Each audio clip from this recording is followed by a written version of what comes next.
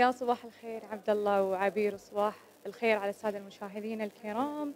نفس ما ذكرت عبد الله نحن متواجدين اليوم في مبنى الاتحاد التابع لشبكة أبو ظبي للإعلام بمناسبة احتفال اليوم المرأة آه، اللي يخلد في تاريخ ذاكرة الوطن. هذا التاريخ اللي دائما في كل سنة نحتفل بعطاءات وإنجازات المرأة.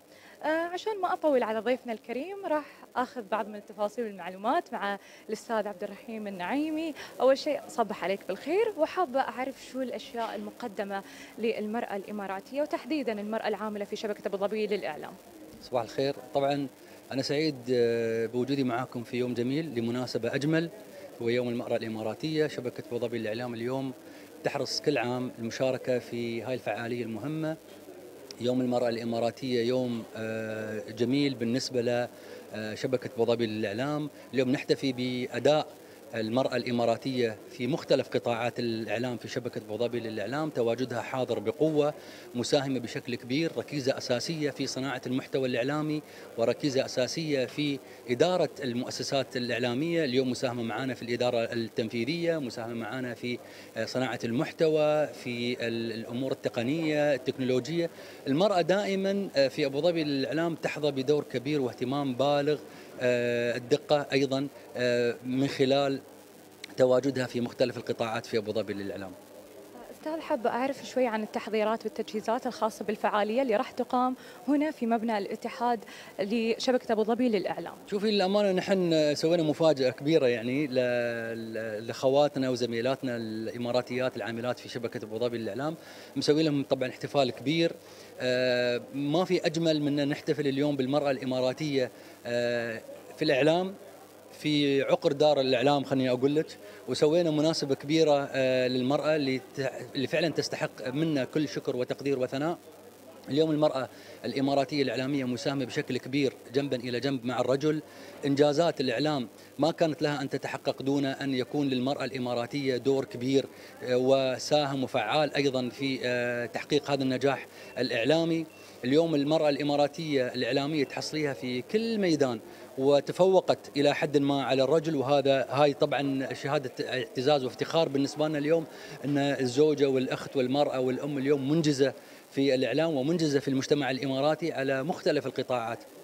اذا المرأة الإماراتية ركيزة أساسية في مرحلة النهضة والتمكين وأيضا في مرحلة الوصول إلى آه، إلى أبعد مدى، اليوم المرأة الإماراتية واصلة للفضاء. ما في أفضل من هذا الإنجاز اللي اليوم نحن يستحق أن نحتفل فيه وشبكة أبو ظبي للإعلام حرصت على هذا التواجد وحرصت على هذا الاحتفال وإن شاء الله اليوم بيكون احتفال مميز لامرأة مميزة المرأة الإماراتية. والله أستاذ وأنت تتكلم قاعدة أشوف إن عيونك تلمع. في شيء أنا بعد حابة أضيف عليه إن أنتم سبب اليوم نحن وصلنا لهذه الأماكن. يعني حتى الرجل مساهم في نجاح المرأة. في النهاية أستاذ حابة أعرف رسالة منك أو كلمة شي تطلع من خاطرك لكل المرأة الإماراتية سواء كانت في البيت وعاملة في القطاعات الحكومية أو الخاصة. أبغي أعرف شو الرسالة الموجهة من قبل حضرتك. بالنسبة لي المرأة الإماراتية محل ثقة. والمرأة الإماراتية قادرة تنجز في كل قطاع والمرأة الإماراتية ما في عليها أي شيء صعب. والحمد لله قدرت تتمكن وقدرت توجد نفسها. واليوم أقول لك المرأة الإماراتية ترى منافس قوي. مش للرجل في المجتمع الإماراتي للرجل على مخ- مختلف القطاعات وعلى مختلف آه، دول العالم والمنطقة أيضا. آه، أتمنى لها التوفيق. ودائما نحن داعمين للمرأة لأن نحن ثقتنا كبيرة للمرأة الإماراتية.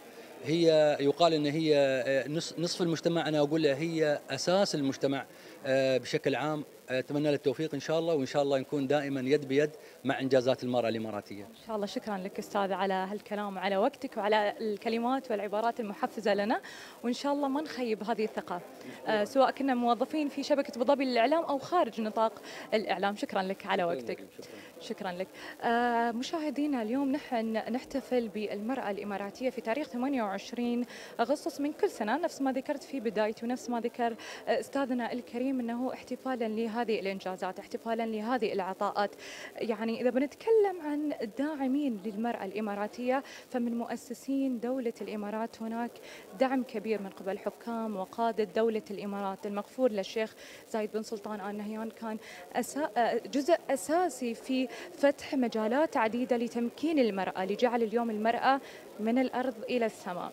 بالإضافة إلى الشيخة فاطمة بنت مبارك أم الإمارات أيضا هي جزء أساسي في دعم وتمكين المرأة. إذا اليوم بنتكلم أيضا عن شعار المرأة هي مشاركة للغد وهذا الشعار يأتي مقتبس من شعار الاستدامة اللي أطلق صاحب السمو الشيخ محمد بن زايد آل نهيان رئيس الدولة. هذه الجهود المبذولة من حكام وقادة دولة الإمارات احتفالا وفخر اليوم بالمرأة الإماراتية.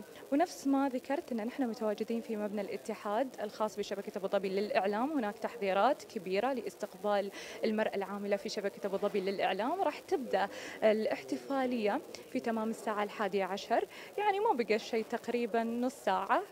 آه وتبدأ الاحتفالية فعاليات مختلفة آه من آه أنشطة من جوائز من أمور عديدة. هذا كله تكريما من شبكة أبو ظبي للإعلام لجميع النساء العاملات في شبكة أبو ظبي للإعلام.